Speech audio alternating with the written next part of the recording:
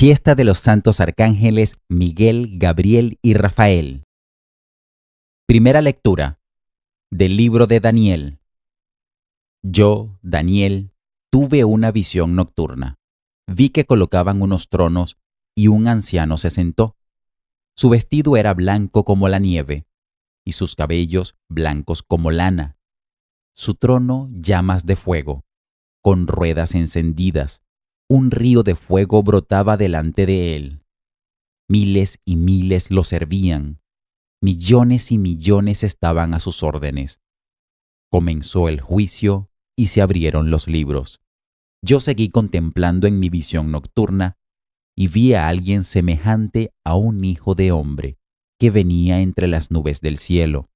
Avanzó hacia el anciano de muchos siglos y fue introducido a su presencia.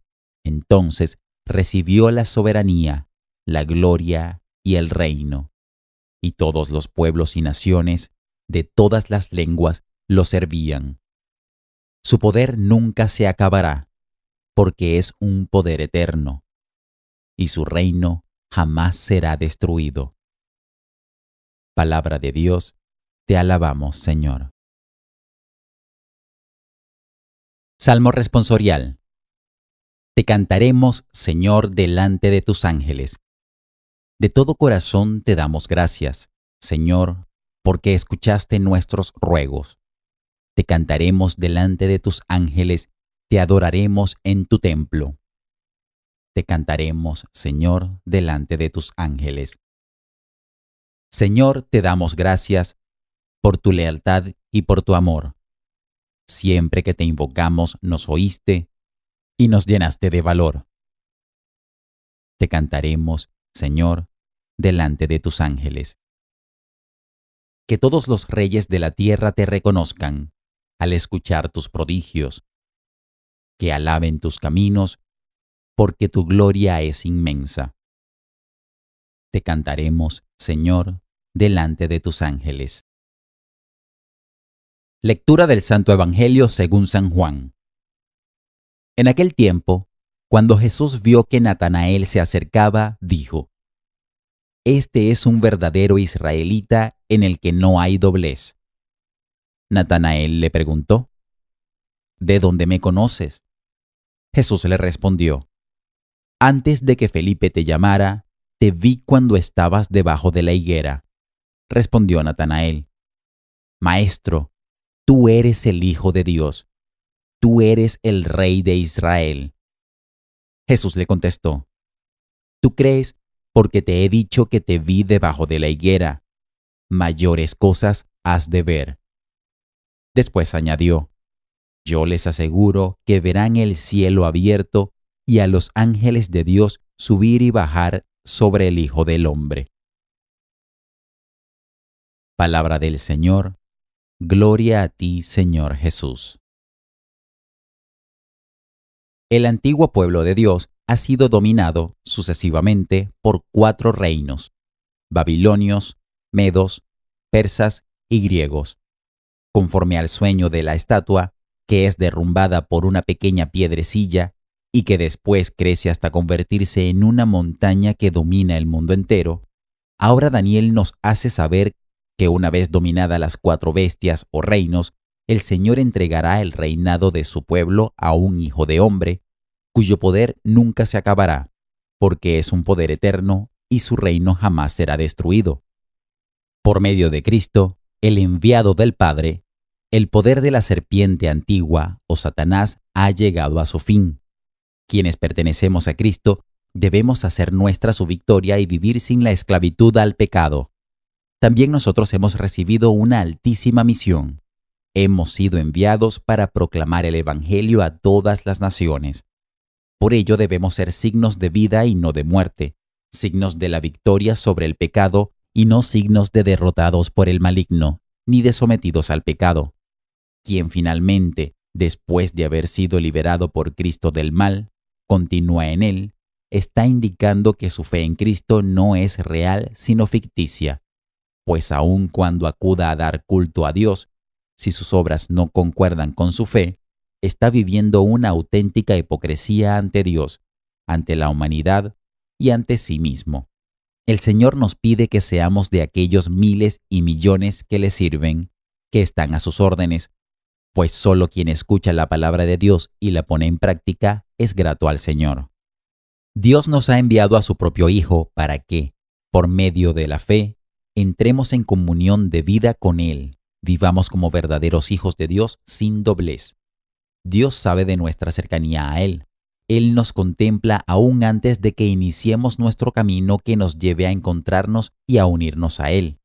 Esforcémonos continuamente en escuchar con fidelidad su palabra para que, en verdad, seamos dignos de contemplar y gozar lo máximo que Dios nos ofrece, su gloria como hijos en el Hijo.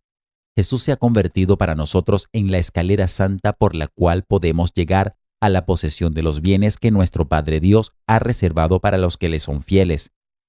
Fuera de Jesús no hay otro camino que nos conduzca al Padre. No hay otro camino que nos haga conocer el amor de Dios.